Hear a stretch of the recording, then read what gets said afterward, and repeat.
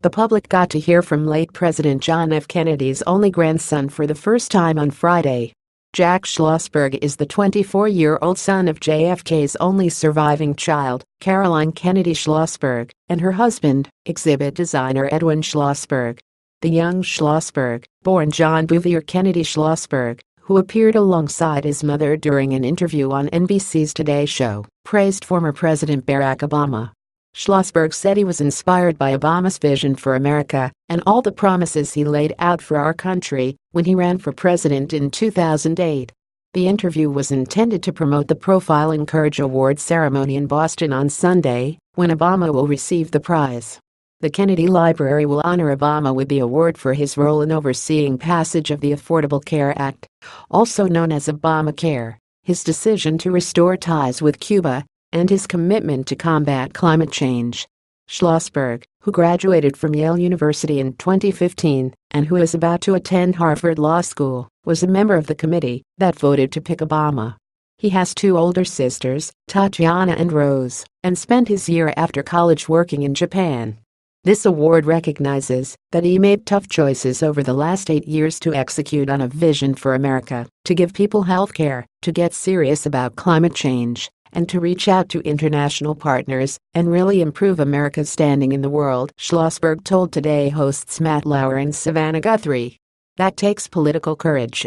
Though he never mentioned President Donald Trump by name, Schlossberg implicitly criticized the 45th president.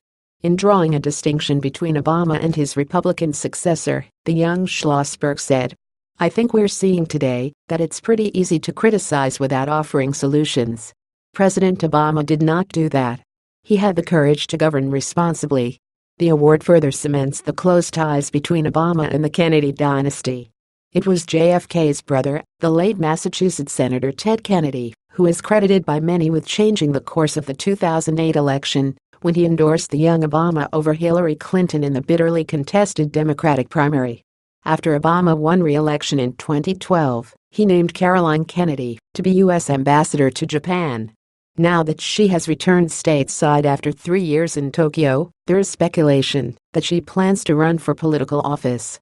There have been whispers that Kennedy, 59, could mount a challenge to incumbent New York Senator Kirsten Gillibrand in 2018.